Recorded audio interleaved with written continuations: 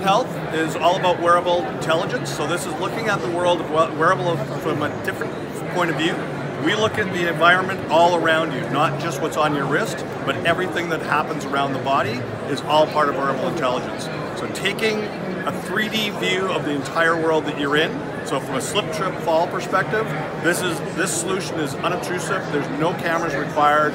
It allows you to know when somebody has slipped, tripped, and fallen, where they are, who they are. We can bio-authenticate through sensors in your feet, sensors on your body. So it's a holistic view on what you do with wearable technology.